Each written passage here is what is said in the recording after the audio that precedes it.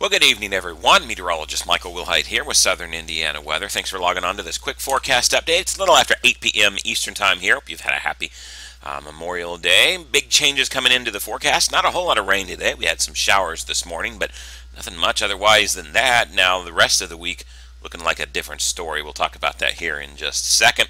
Our update today is sponsored by Welps Farm and Greenhouse. You can visit them on the web, welpsfarmandgreenhouse.com, located there in Birdseye, Indiana. Phone them at 812 326 2709 for all of your farm and gardening needs there. Welps Farm and Greenhouse.com. Storm Prediction Center, as I said last night, has placed parts of the area underneath of a slight risk for severe weather on Tuesday. I questioned it yesterday. I'm still questioning it today, which I'll show you here why in just a second. They have uh, since uh, shifted that further over to the east. Personally, I think it's going to need to be shifted down a little bit more, and I'll talk about that, the whys here in a second. Let's go ahead and take a look at satellite and radar here in motion. You can see a bad night going on out to our west. Nice little, uh, very potent squall line uh, moving out, out through here. And if I if I just take uh, the satellite off, you can see that well-defined. In fact, the tornado warnings there in red. Uh, some confirmed tornadoes on the ground with damage earlier today. Lots of severe thunderstorm warnings there in yellow. Flash flood warnings there in green. So very bad night going on across there. The, that is going to reach us tomorrow, but it's not going to be that big of a deal for us. And I'll show you that here in just a second. Let me put the satellite back on here. Some clouds starting to thin out a little bit around the area today, but it's been pretty much a mostly cloudy day. We'll get a little bit of a break in the action, but it won't take long overnight before we start to see these clouds and, and rain move our way and, and blow into the area. In fact, let me just go ahead and sort of time this out for you. Let me just show you future radar here to start out rather than the future satellite and give you an idea of what we're expecting here. There's that rain move away today, and, and, and here that is. There's that. There's those showers and storms down there tonight. That will eventually start to, uh, well, you can see it pretty much just fizzles out, but that complex does move our way, and, and it will cause some storms. Tomorrow afternoon doesn't look like a huge uh, mess for us at this point, but you can see by by 3, 4 o'clock in the afternoon, we've got some storms starting to fire in the area. How strong these are, uh, well, it's just, it's anybody's guess at this point. Um, I'm not looking for a major uh, organized severe weather event by any means for a couple of reasons. Let me show you a simulated satellite. Here's the cloudy weather that we've had all day long here. And uh, you can see we get maybe a little bit of a break in the action tonight with just the clouds starting to thin out overnight just a little bit. But watch the clouds quickly move in from the west, from all those uh, storms that are ongoing out to our west. It starts to filter in. And then, of course, tomorrow that uh, comes over us. We might get a break in, in the clouds here and there, but uh, it's going to be partial sunshine. It's not going to be a full day of sunshine, and that's going to keep our atmosphere in check. In fact, uh, here's the way the high res NAM shakes out the uh, our uh, energy, and this is much different than what it was showing last night. Uh, last night when I, sh I, showed you it, it was showing a lot more energy. Uh, as I said then, I, I, felt like we'd have more clouds. This is a little overinflated, I think, too. This is showing, you know, uh, 2,000 to uh, maybe even closer to 3,000 uh, joules per kilogram of, of instability in the atmosphere. And frankly, I think that's kind of overdoing it compared to what we're going to see tomorrow. We're going to get warm tomorrow, no question about that, but I don't think that we're going to see this kind of extreme energy. The GFS is a lot more moderate with it. What I, this is the high res NAM, and GFS is a lot more moderate. Keeps us maybe oh, a thousand or, or, so to fifteen hundred at most around the area, and, and, that seems like a more reasonable solution for this, considering probably going to stay uh, cloudy a whole lot of the day tomorrow.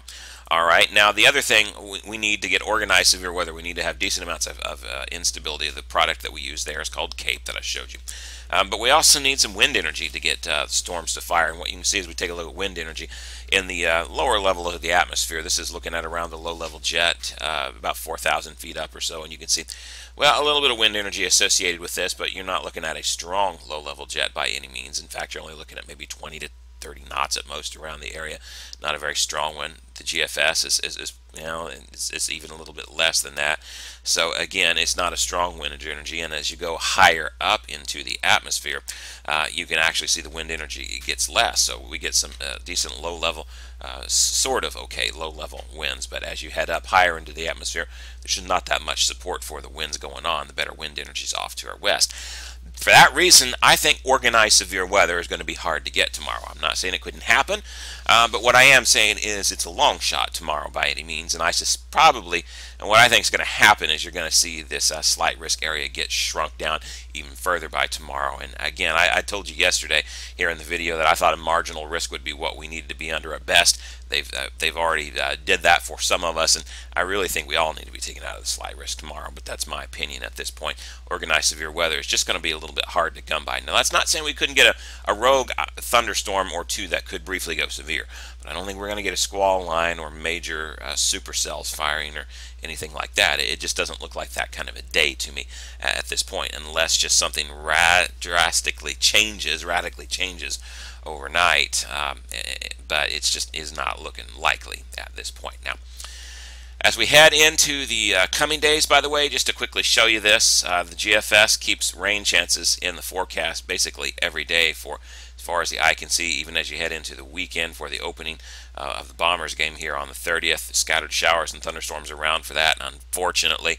Uh, and, and really, it looks like that rain stays into the forecast and through at least part of next week. So, uh, you know, we got just a very active weather pattern coming up for us, uh, but it is not going to be a washout any of these days. It's just going to be popcorn stuff here and there. And some days we might not see any rain, but the chances will still be around.